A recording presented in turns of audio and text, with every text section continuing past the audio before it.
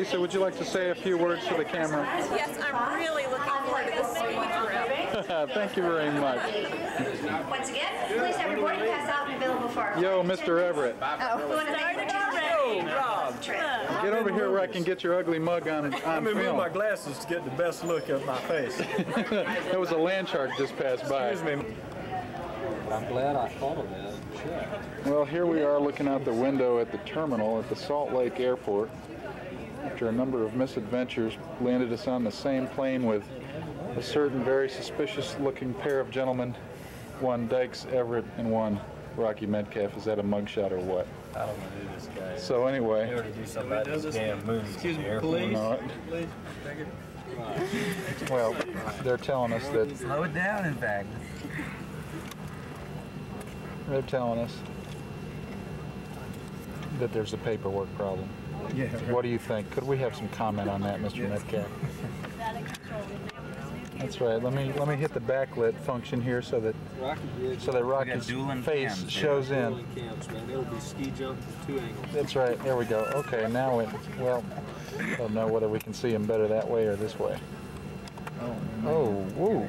Oh, how embarrassing. Oh, goodness gracious. Public displays of affection right here on Little grove for an interstate flight. Grove Fest 90. Celluloid grove. Gotta get it Celluloid now till groping? get married, That's enough. ain't gonna have Now we got a. PG rating on this film. Do we want to go a little higher? No, never mind. Excuse me. Grope away. Let me back off here. Oh, there. Back way off. So you're with the fallow deer. Is that what you said? If it's your oh. opinion, I say it's your Oh no, you're going have to one New York say. Strip. Right, New York Strip's what I'm gonna have, man. Like, yeah, I don't know. It just looks like deer. Maybe it's just. There's Rob and his camera. I don't know. Neighborhood cameraman. a man with Well, I figured this being the first dinner and all, I would at least pan around, look at everybody's face, seeing as how our first dinner is usually, you know, the most ridiculous one of them all. I must say, Rob is kind of like a cross-eyed discus thrower. Yeah? Throw it very Would far, you care to keeps the crowd elaborate on that? it keeps the crowd alert? Okay, I'm glad you clarified that. I've been working it. Well, On that. That's a great thing. I won't do this again to us at dinner time, I don't think, but I figured I'd at least do it the first night so that we'd all at least know who we are and where we are. Like Someday our having our kids mouth will look at this and say we look really funny. Let me zoom in there on old Metcalf. Oh, yeah, look how look how bald old man that, that kid Let's zero in on old Metcalf's bald spot. Relatively. is. Just say, look how bald Uncle Matt looks. Yeah. Oh, Uncle Matt's never had much hair, has he?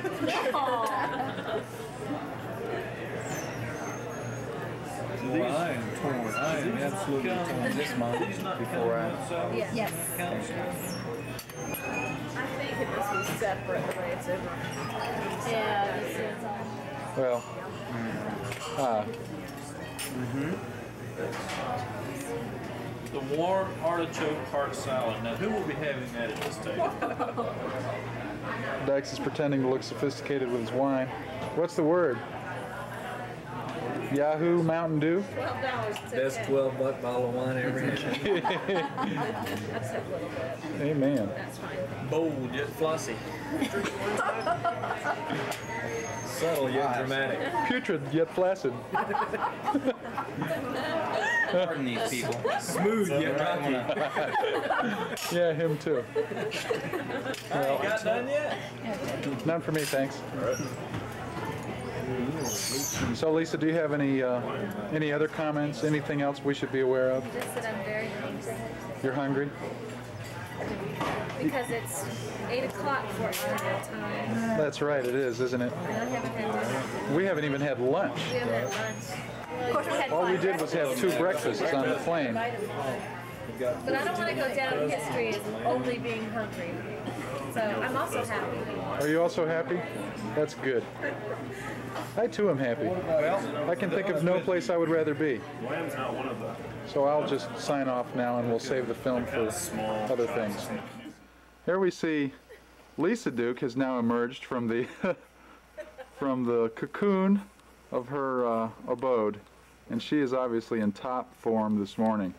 And let me just zoom in on that smiling face as she considers the. Uh, uh, I think I should be considering something right about now, like uh, escape. Anyway, the Everetts have informed us that we should go over and get our own table because God only knows when they will show up.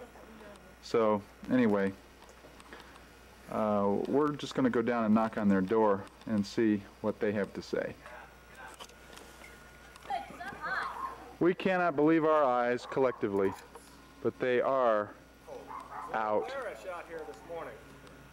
There is Mr. Dykes Claire Everett himself, surveying the scene as he strolls out, looking fashionable from head to toe. In a minute or two, he's going to be he's going to be frozen solid, a block of ice, like his car. What? Dusted snow last night. Yeah. And there's Lisa. Hi, Lisa. So this is the exciting first morning. We probably won't do any more filming of first mornings because after all, this is the last first morning. We may not be doing any more filming of any mornings. Let's see if we can get the vet Metcalfs out. Okay.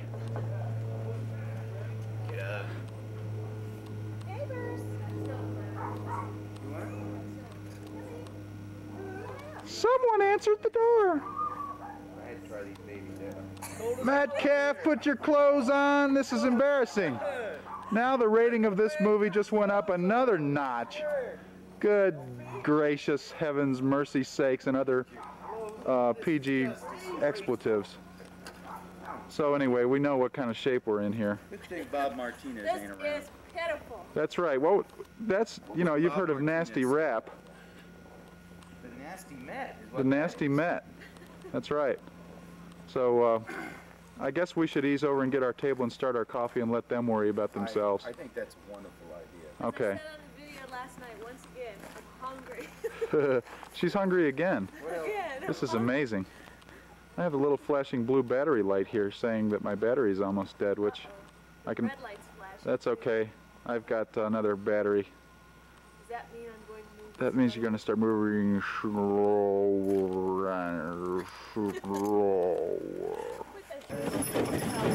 Well, we are now getting underway on our exciting sleigh ride. As you can see us leaving the refuge area.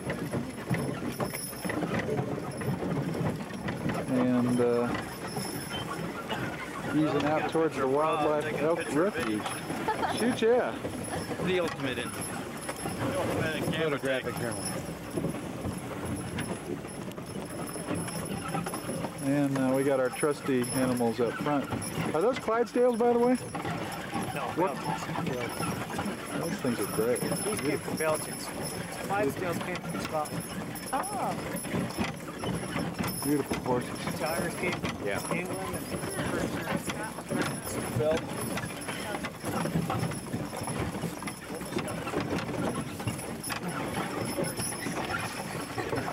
What's your name? Brad. Brad? That's Brad the park manager.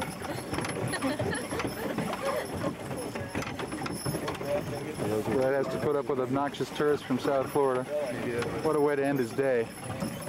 is this your last run for the day? Jen? It's a bus load of 75 come in. Well,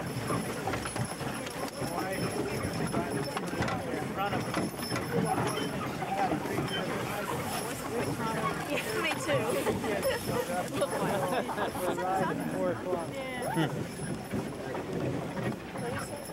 finish the panorama here. All right. Yep, he's the victor.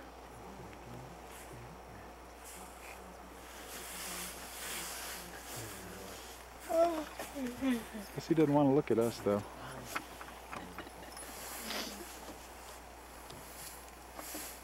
Can see why you stayed. Thank you.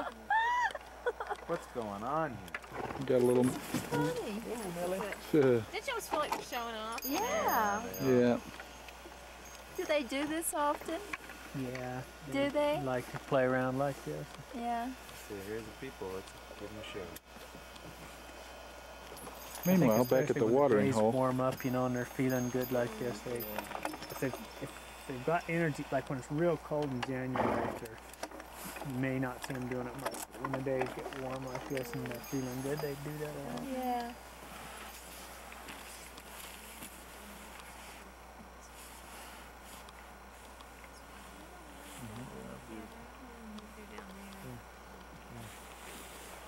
Mm-hmm.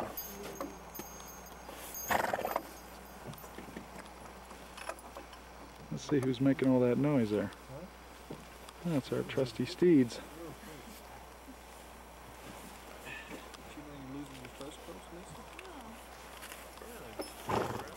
Those are ours.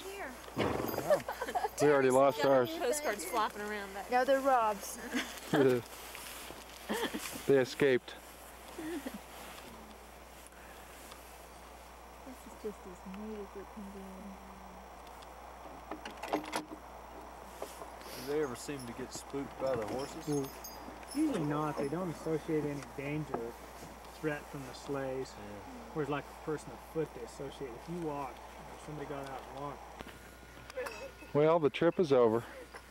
Everyone is relaxing. Looking very western. And uh, Bye, Elf. looking very cold, yes. The, even the horses are cold. Some of that behind me. Yeah, they're backing up to give you a good boot there, Bry. Yeah, I'll bet he is. Well, so ends our trip out to the elk. Say goodbye, everybody. We're leaving. All right, and stroll we shall. And the horses. Oh, Brother Metcalf is leading the way with his camera.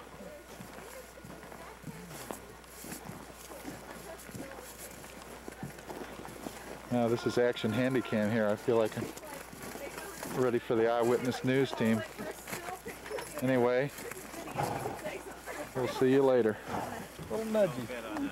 We can sit on our thighs. One. Well, we're getting ready to go on a sleigh ride up to dinner oh, here at dusk. what about? It's the other sleigh. Oh, Nelly. Oh, down in front, down in front. I fell off.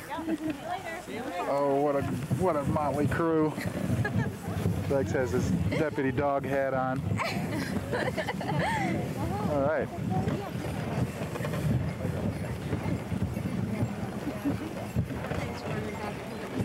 Oh, we got some bells jingling. How Christmassy. Too bad it's March.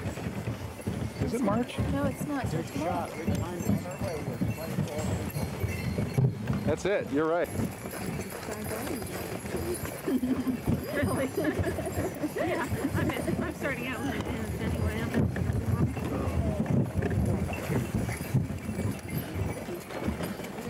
Yeah.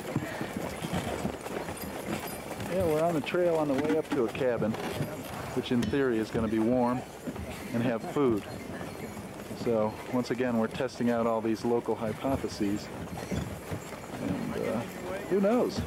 Maybe we'll have a theory before it's all over arriving at the cabin. There's smoke pouring out of it, so that suggests heat, which we're desperately going to need here. And uh, perhaps food also. Notice the chimney. Yes, yes. I guess this is the cabin. Maybe it's just somebody's house. And we're passing by. I sort of doubt it.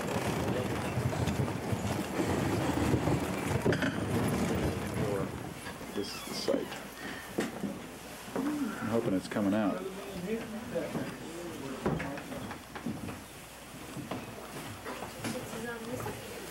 Hi. Hi, how are you? Here we are at the next exciting phase of our ski trip, and Mike Smith has now joined us with the beautiful Susan. Susan. Is over here. And let's pan over and get a shot of Susan there. And we're about to take this mountain over. And this mountain that he's referring to, ladies and gentlemen, for the, you folks at home, is the Grand Targhee Resort in Idaho. Yes, we have added Idaho to the list of states that we have been in on this trip. Yeah. We we We're finally not sure where we are. we think we're at Grand Targhee Resort, we took a wrong turn back there, and this could be Sun Valley. But anyway, uh, we got rid of Everett and Metcalf, who are off on a fishing trip today, of all things. We have entrusted our credit cards to our respective wives, except for Bryan, who brought Lisa to make sure that she didn't do what Terry and Lisa are about to do to us in the shopping village at Jackson Hole. Rob, you're skiing 200s? Yes, sir. Who are you trying to kid? He's a, he's a maniac. First myself, and then everyone else on the slope. You just want to impress people sitting on the lift. People look, he's got 200. You can fool some of the people all of the time, as I have proved out here this week. So anyway, I'm going to have to leave this this uh, camera in the trunk for a while until I get up and see what the locker situation is. So to the mountain we go. On the final day of the Duke trip, we'll be here for a couple more days, but Bryan and Lisa have to go home today. And this is our farewell adios breakfast at the Bunnery. It's our last supper. yeah. The last breakfast, you have, And uh, in a minute, the other gang will be seated at this table. They're way the heck up there. and They were late. And uh, some coming now? Oh no. Hope he doesn't seat somebody else there. Capture that forever on celluloid. Good morning, gang. They wouldn't let us sit together, so we had to come over and see you all. Oh, I'm so Here on this last morning of the Duke trip. The cheap seats. The cheap seats, yeah. Are you all done? Wow, I rub my backside. What did we all have here? The Mother Earth. We didn't have. We don't have anything. Who has the most pictures of the same person in their wallet? okay. Here, well, I've got several. I guess it's time. Most people in their wallet. I've got checks. Dukes are officially departing from the gang here. Seeing you. This is awful. Right outside the bunnery too. Imagine that. Are you skiing today? Oh, yeah. You well. So, uh, bye. Bye, guys. Take care. Okay. We'll be in touch. See you later. Well, here we are at the Grand Targhee Resort. That's Rocky getting ready to take pictures up the hill. Hi, camper. And uh, somewhere up there is Dykes Everett. We're going to try and find him and uh, watch him come down the hill. I'll show you where we are in a minute. There he is. He's waiting for Lili, who's up there somewhere too.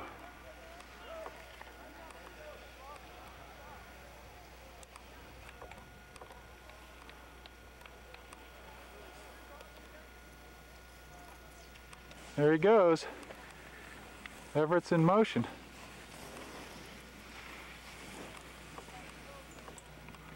Wide world of sports here.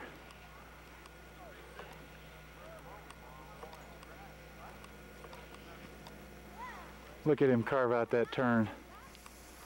Oh, you can almost hear him. You can hear him. Way to go! Looking righteous. dog. 1990, Winter Olympics, baby. Way to go. Here comes Lili. Lili's taking the casual approach. Casual she is, ladies and gentlemen. All right, a victory sprawl. A victory run. Way to go. Okay, now to show you where we are, we are on the Chief Joseph Blue Slope, which is at the Grand Targhee Resort on the west side of the Tetons. And that's a little bit of the view. And this is where we have to go next. And uh, that's Idaho over there. Idaho Spud Country. Yes, sir. And uh, I'm about to twist myself out of my skis here because I'm standing in them.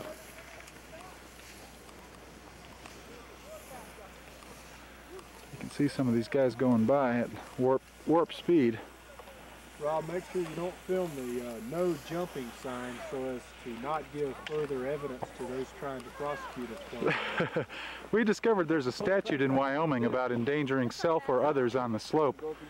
And since we've been in violation of that statute since the day we got here, we, uh, we're a little concerned. Well, but this is where you'll get better here. I like practicing at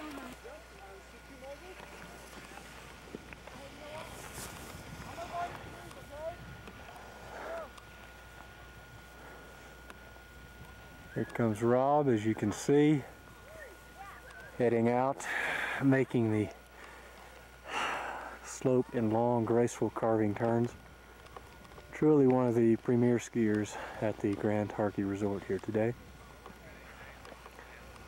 Rob Major, world renowned as a master of the uh, powder slope. Oh my God.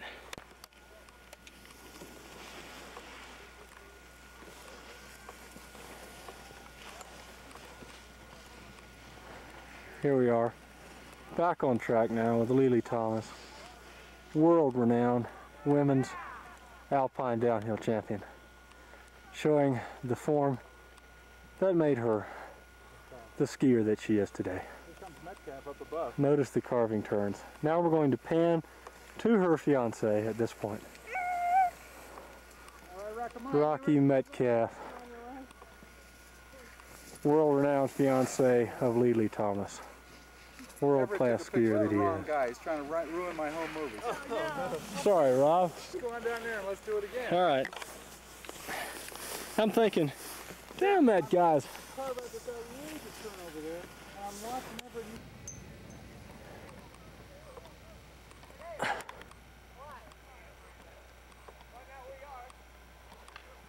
um, oh, Major, carving his turns, world-renowned powder skier that he is.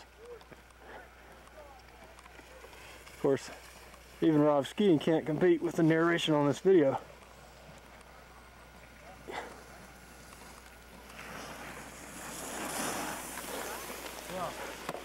Got you, man. All right, man. There goes Everett after his wonderful job of recording my feeble attempt at demonstrating skiing techniques. He's off down Dead Man's Bowl. And uh, so far it hadn't killed him. Smooth, smooth, oh yeah. The view, as I said, was uh, pretty spectacular from up here. Sometimes you feel like you're going to ski off the edge of the world.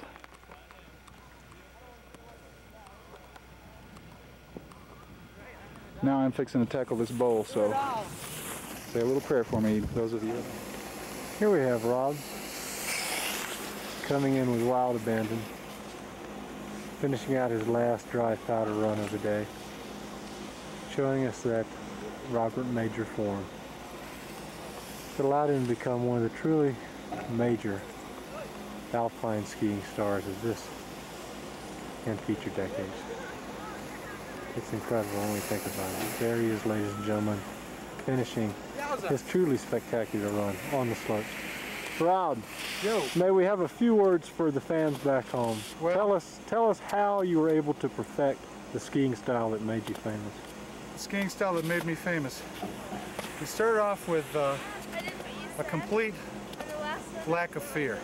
I like that. And then uh, you add to that a heavy dose of prayer. Your fans like that. Yes. Uh, and then you take out a good life insurance policy. I understand. What about the inspiration that your friends play? Your friends. Uh, For example- those are the ones that persuade you to get 200 centimeter skis your first time out. Exactly. You go down the slopes on your back Those and are your the- stomach. Those are the very friends I'm Those are talking the ones, about. yeah, the inspiration that they provide.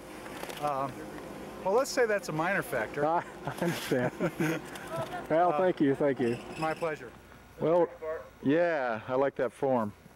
Well, here we are home again after our Targhee trip. Unloading the truck, the skis, the White women the other packages, the women, yes, and the Puerto Rican girls. they already unloaded themselves.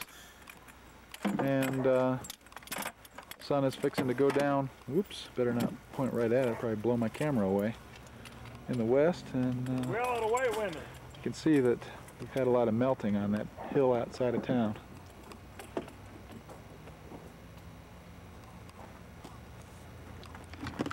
So we're fixing to go have dinner at some outrageously expensive place or other, I'm sure. And- Uh, it's Everett's fault. He set up the reservations. Well, Never liked him. I know, I know. Well, that's okay. He says he never liked you either, Matt, so. All right, we'll see you guys in a little bit. Oh, Battery just died, huh? Your light was it's about to go. Oh, what a shame. When, when you're recording, is your light supposed to be solid red? Oh, there we go. Okay, yeah. Well, if it if it's blinking. blinking, it just means my battery's about to go dead. It's blinking. Yeah. Well. So have- you're only getting every other word right now. Right. There, there, we're- we'll go. I'll speak broken language. Or I'll say each word twice. So you Later that same morning, the Everetts finally arrived. There they are. Good morning, Dykes. Ah, As you can see, the snow is still coming down, and we're we've decided to go skiing at Snow King today. And maybe we'll get some powder, and maybe my battery won't go dead until Maybe after. you'll get some chapped lips. Chap lips? I already got them. His lip line's already, you see? That's a receding lip line. A receding mustache. Halfway up his nose. That's right. I, all I can have now is a skinny little aggressive mustache. Well, anyway, we'll show you around the, the restaurant here this morning. That's a very suspicious looking crowd there standing on the street corner in downtown Jackson Sunday morning, getting ready, I can tell, just by the looks of them, to get on an airplane and fly the heck out of Jackson. This is our last morning. We had breakfast at the Jedediah restaurant, which was named after Jedediah Smith, hardy explorer, etc. He died at the tender age of 32 at the hand of the Comanche Indians. But uh, today, alas, is our last day, and we'll be going over to join the Everetts and the Metcalfs just a minute for our final in front of the antlers photograph.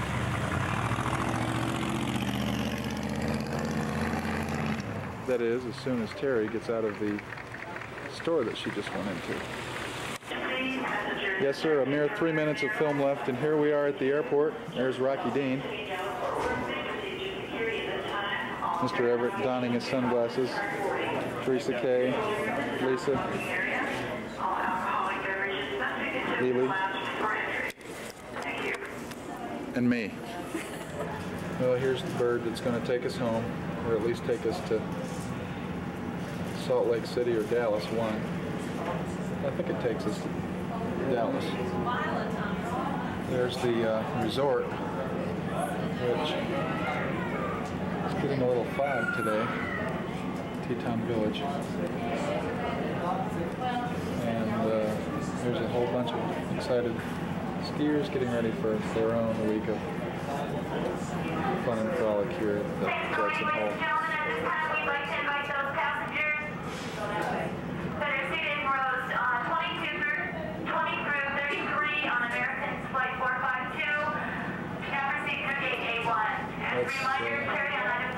Uh, so everybody say goodbye. Bye. Bye, Lisa. No, no, no. Bye, Terry. Bye, Dykes. Bye, Lili. Bye, Rocky. Goodbye.